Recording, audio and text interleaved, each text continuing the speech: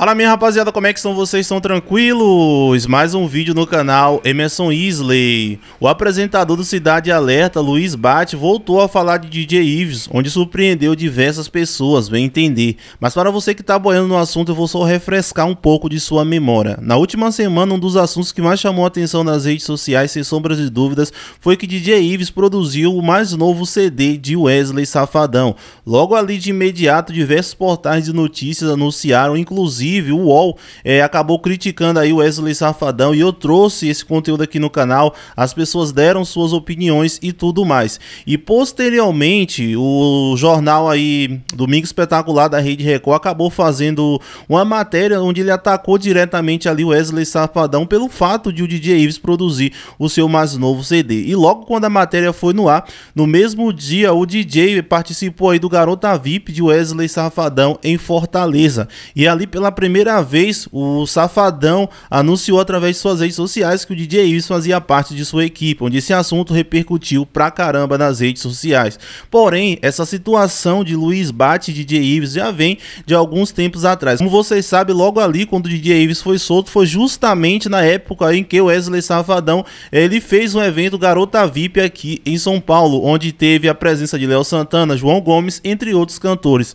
E naquele dia ali tava é, o nome de DJ Ives estava badalado aí nos principais sites de fofoca e tudo mais.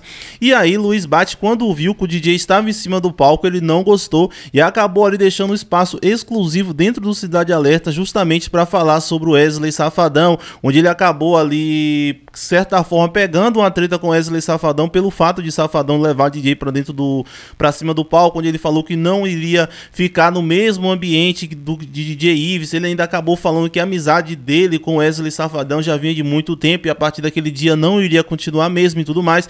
Eles até deixaram de se seguir lá no Instagram. Como vocês sabem, eu trouxe esse assunto aqui no canal. E como eu estava falando anteriormente, o nome de DJ Ives, ele veio tomando força novamente nos principais sites de fofoca nesses últimos dias. Devido que Pamela Holanda, a ex-esposa de DJ Ives, ela que, que no caso foi agredida e tudo mais, ela acabou sendo acusada de homofobia, de maus tratos e tudo mais pelo seu ex-assessor. E aí uma imagem vincula a outra e aí o site começou a postar, postar, postar e o nome de DJ Ives, querendo ou não, nesses últimos dias veio tomando força novamente.